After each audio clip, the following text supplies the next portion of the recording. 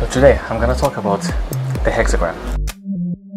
It has intrigued many for centuries, for thousands of years. You see this shape, you see this star which is shaped like a star everywhere around the world.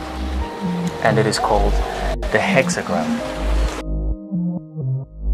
Why is it called a hexagram? Because hexa, which in Greek means number six, it has six points or six vertices, and hence why it's called the hexagram.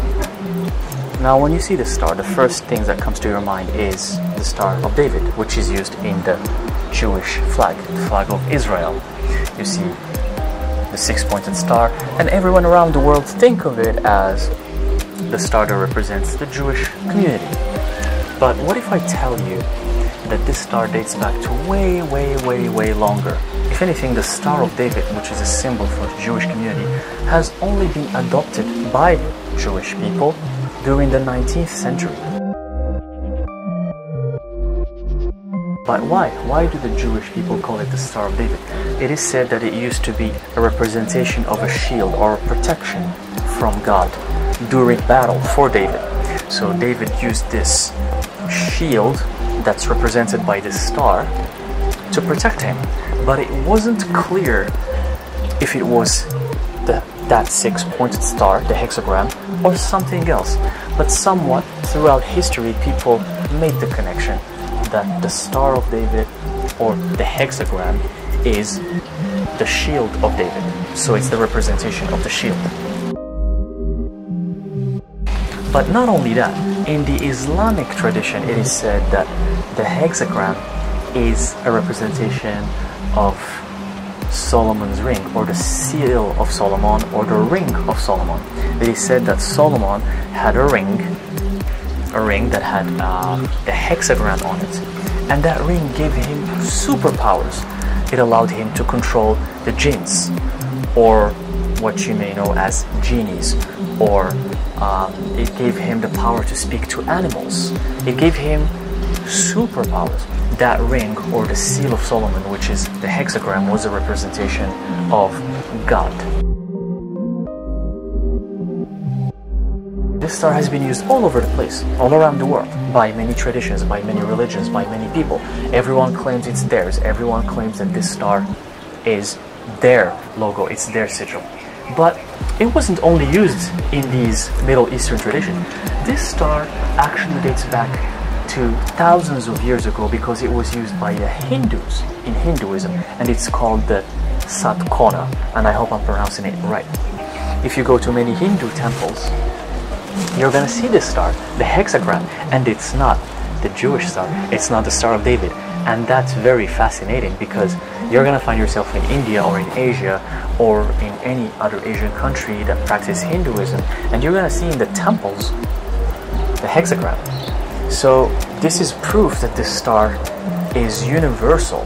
The Satkona yantra, and basically yantra is Sanskrit word for symbol, is a representation of the balance and the harmony between the divine feminine energy and the divine masculine energy. The divine masculine energy represented by the triangle pointing upward, and the feminine energy represented by an equilateral triangle pointing downwards.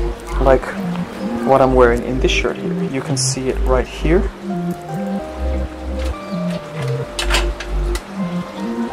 And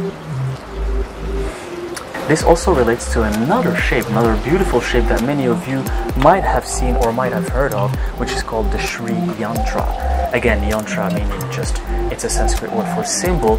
Sri Yantra is practiced by a sect of Buddhists or a sect of Hindus. I think it's a sect of Hindus, and that's their logo, the Sri Yantra.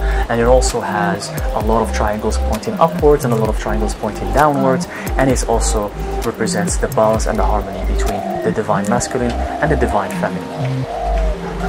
But this hexagram hasn't been only used by religious people, it has been also used in alchemy. In alchemy in the mid centuries in Europe and also in the 7th and 8th century in the Middle East, alchemists used the hexagram as a symbol for the elements, for the balance and the connectedness and interconnectedness of the elements. The triangle pointing upwards represents fire, and the one downward represents water. You also have Earth with a line on it, as you can see here on the screen, pointing downwards, that's for Earth. And another one with a line, again here as you can see, pointing upwards, is a representation of air. When you take these four elements, fire, water, air, and earth, when you superimpose them on each other, they give you the hexagram, the six pointed star, which is fascinating. And again, every time we come across this symbol, there's always this pattern of balance and harmony between two different elements, or two different genders, or two different energies, if you will. But I want you to see what I have here on the screen. I wanted to go back and see where is the oldest mention of this hexagram? Where? Is there any proof that, that it really comes from a long time ago, that it comes from ancient times? One of the earliest finds about the hexagram that I, that I discovered, as you can see in this photo, this hexagram was found in the temple of Baalbek. And Baalbek is right now situated in modern day Lebanon. The Romans used to call this temple Heliopolis, and it's at least 2,000 years old. 2,000 years old. This is a huge, huge stone with the hexagram on it. But there's still a big mystery here because for me, I always wonder why? Why the use of two equilateral triangles? Why not using squares? Why not using rhombuses? Why not using other geometrical shapes? I've tried to make the connections of what's going on here. And the hexagram in sacred geometry can be found, can be found inside the shape of Metatron's cube. But it also can be found in the shape of the flower of life, as you can see here. And it also can be found in the shape of the seed of life, sacred geometry is a representation of harmony and balance because it followed the golden mean and the golden ratio, so it does represent nature, which means that the hexagram is also a representation of nature.